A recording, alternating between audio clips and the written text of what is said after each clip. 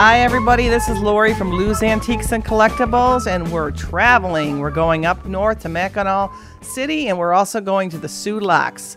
So here we are. We stayed this time at Mackinaw City, and this is uh, the campground that we typically stay at. It's called Mackinaw Mill Creek, and it is beautiful, as you can see.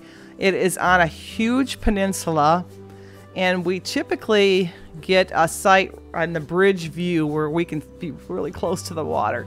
But you have to make reservations super early to do this if you want to stay there. Um, otherwise, there's lots of spots within, but we love looking at the water every night. So we're heading out here, and here is uh, another part of the peninsula that the campground is on. This is the swim beach, and we are on more of the rocky side of the beach, but there is beautiful views anywhere you go with this park. And if you like what you're seeing, make sure you like, ring the bell, and subscribe to our channel. So here's the beautiful lake where we were. So today we're heading up to the Soo Locks, and no matter what we do on vacation, we always do a little bit of junking. So we're going to head up there to the Salvation Army and see what we can find, and of course, check out the Soo Locks while we're there also, and watch the boats for a while. So this was the summer of 2021. And here's a picture of one of the boats that we've seen at the Soo Locks. Beautiful. I could spend I could spend a lot of time up there. I love it up there. And here we are at the Salvation Army. And this is in Sault Ste. Marie. And there's quite a few little resale shops here, but we decided to go here to see what they had. So they have lots of dishware and uh, glassware and things of that nature that we typically see. Ooh, a piece of Westmoreland. Oh, I have to pick that up. That's the paneled grape pattern. Nice piece of glass. So I definitely picked up on that one. You never know what you're going to find at these stores, especially when you're in different towns. It's kind of fun. So there's another paneled grape pa pattern, but that one wasn't the Westmoreland glass. That's a little bit uh, different company. So we're looking here through the smalls and a nice teapot that I took a look at, um, but the price was a little too high for me. So we went over to furniture and suitcases. I like to look for old suitcases because I use those in my displays when I do shows. Didn't see anything that would work.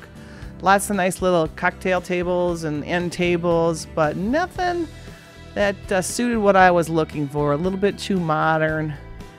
And they have those laminate tops. They're very hard to paint if you want to paint those kind of tables. I'm sure other people have found a way to do it.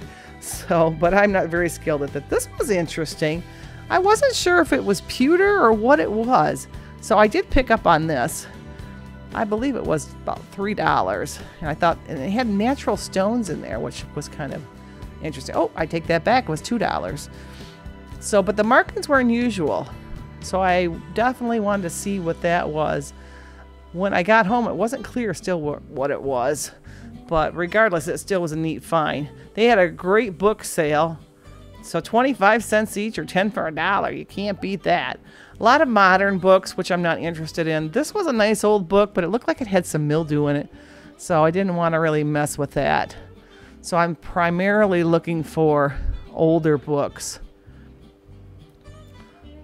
So we'll see what we can find here. Oh, there's an older one on the top. And what I look for when I look for books is I look for the copyright and to see if it's a first edition. A lot of older books, if they're a first edition, are worth much more. So I always check the date and to see uh, if it was that. And this one, particular one, was not, so I passed on that. It's pretty hard to find those. You really have to look through a lot of them. There's some college books and things of that nature that are not really worth anything to me. I'm sure they were when the people were in college. but that's not what I'm looking for. And lots of how to books and things of that nature. They had a big uh, area of records. Records I'm not really skilled at. I don't know unless they're blatantly obvious, like the Beatles or something of that nature, then otherwise I really don't know. Um, but I do look for old packages and sometimes I just buy them because the graphics are so good. Like this one here, the graphics were so neat on there. But uh, typically I'll look them up on my phone to see if they have any value. And it's good to always check the inside. You want to make sure all the records are there and they are the right records because often people will put different records within these packages that have nothing to do with what it says on the outside. So always good to check. here's another one. That was kind of interesting, kind of a neat graphic on the front. And quite a few records in the inside of that one, but not necessarily real valuable. So even though I looked at them all, I ended up passing on those. There are people that are much more skilled with buying records than I am. It just hasn't been what I typically buy. I typically buy more jewelry and porcelain and glass pieces and things of that nature.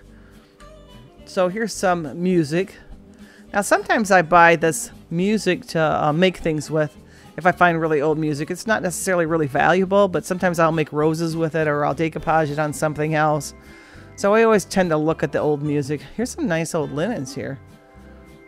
Reasonable prices too, mixed in with a lot of things that are not that valuable. Of course, I saw something shiny. Got to check that out, but it was modern. Lastly, I looked at some purses. Um, didn't find anything real, really old there, but still a lot of fun. So this was the Salvation Army in Sault Ste. Marie, Michigan. Great fun. We always go junking when we're on vacation. Thanks, folks.